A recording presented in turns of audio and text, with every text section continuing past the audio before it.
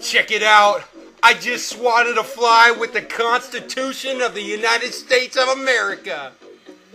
Right there. Woo! Go Constitution!